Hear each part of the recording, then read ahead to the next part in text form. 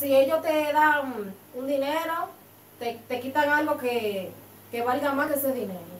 Si ellos te dan una riqueza, te enferman un hijo, te lo matan, que tú tengas que vivir una vida de amargura. Y al final tu alma se va a perder. O sea que verdaderamente ellos no hacen nada bien. Ellos son como, tú sabes que hay mecánicos que son malos. O sea, que hay mecánicos que son como, como personas poco profesionales, que tú la, la, la llevas a tu casa, que te arreglen el abanico, le arreglan la, la sala y le dañan. Ellos son así. Ellos, a medida que ellos fueron destinando su poder para, para el mal, todo lo que ellos hacen con su poder, al final terminan mal.